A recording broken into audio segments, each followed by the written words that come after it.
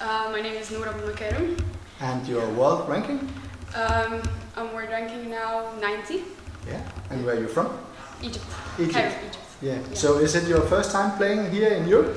Yeah. No, not in Europe, but in, in Denmark, yeah. But I played the, the British Junior Open and um, like uh, there was like two tournaments. I played them in Germany, but I was literally too young, so I can't remember them.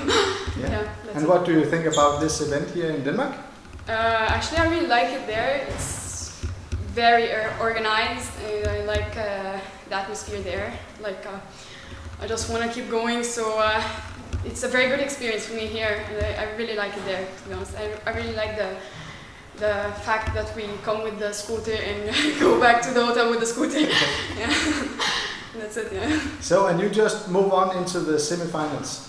What do you think about uh, tomorrow's semifinal for you? Uh, tomorrow I'm gonna play with uh, Hannah. Uh, actually, I played with her uh, at the British uh, like 2019. Yeah. Um, it was really a tough match, so um, tomorrow I have to be uh, very prepared and um, really uh, focus and uh, remember my mistakes that I did last time, so uh, I can go through the finals. And this event is a world championship qualifying. What Yeah. does it mean to you that this is that type of event? This is a very big event for me. I just uh, like it will make me go to another place. So uh, I just want to take it. I want to take the title really from my mom actually because she's waiting for me to play like the, the worlds. So uh, I'm really looking forward to playing the Chicago. I, want to go there actually and have uh, that experience. Like it would be very good for me. I'm, I, uh, I'm waiting for this moment. That's it.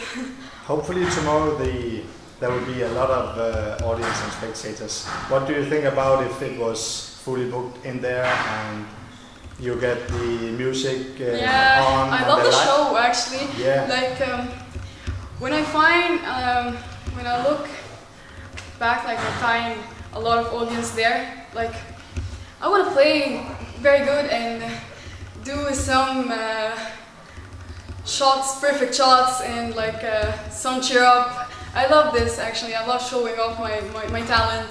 So uh, I would love to see a lot of audience there at the same and watching me. Like I want to do the best. Yeah.